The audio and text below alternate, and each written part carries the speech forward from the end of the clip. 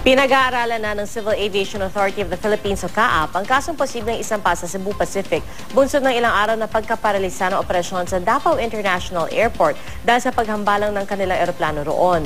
Mula sa Pasay, may ulat on the spot si Chino Gaston. Chino?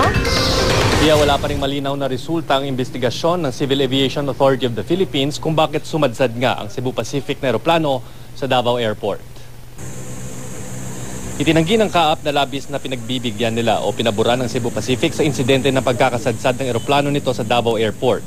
Inabot ng halos tatlong araw bago naalis ang eroplano sa tabin ng runway na nagresulta sa pagkakaantala ng mga flight, parating at paalis ng paliparan. Paliwanag ng tagapagsalita ng kaap, hindi kasi ganong kasimple ang pag-alis ng eroplano.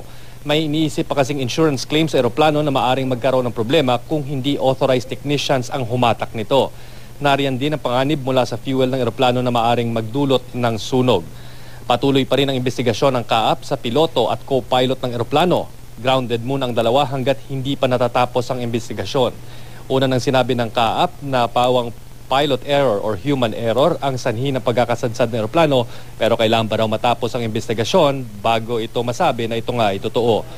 Malaki ang pananagutan ng kumpanya at crew lalo na kung mapapatunayang may pagkukulan o paglabag sa mga polisiya ng kaap gaya ng improper maintenance ng aeroplano o kung under the influence ng alcohol at iba pang substance ang piloto at mga crew. Pinag-aaralan na rin ng kaap kung anong kaso ang pwedeng isampa sa Cebu Pacific dala ng epekto ng ilang araw na pagkaparalisa ng airport. Narito ang bahayag. Meron silang napakalaking violation na naginawa. For example lang ha, ah, it's proven na they have taken illegal substances, no? including alcohol. Naku, eh, talagang walang po. siguro revocation ng license yan. No?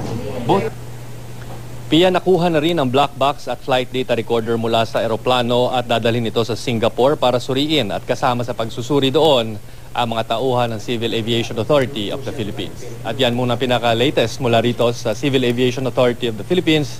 Balik sa iyo, Pia. At Chino, may ideya ba tayo kung gaano katagal bago matapos ng ah, investigating team no, or kumpanya sa Singapore yung pagsusuri doon sa black box? Medyo mahaba itong, ah, aminado na rin ang kaap na medyo magiging mahaba itong investigasyon na gagawin nga dito para malaman kung bakit nga sumadsad dito dahil sa katunayan magsisimula pa investigasyon dun sa Singapore para malaman nga batay dito sa mga data na makukuha sa flight recorder o flight data recorder at sa black box kung ano yung mga kondisyon kung bakit sumadsad dito. Bukod pa ito sa pagsusuri at pag, ah, pag-imbestiga dito sa mga flight crew kung ah, bakit nga nangyari yung uh, pagsadsad ng eroplano doon sa runway. Pia. Ah, Chino, pangkaraniwan ba ito na kapag ah, kailangan suriin ng black box, talagang sa Singapore pinapadala, walang ah, kumbaga parang parallel investigation or sarili investigasyon ng kaap dito? Batay sa pagpapaliwanag dito ng ah, tagapagsalita ng kaap sa atin, yung eroplano daw na pagmamayari ng Airbus Industries ay ah, ang kanilang base ay sa Singapore kung kaya't ang pagsusuri at ah, pagtingin dito sa mga data at yung ah, tinatawag na black box ay doon lang daw pwede gawin kasi sa pagkakaintindi natin, yun lang ang may facilities doon para matingnan nga at ma-access yung data na nagmula sa sumadsad na eroplano. Pia. Maraming salamat sa iyo, Chino Gaston.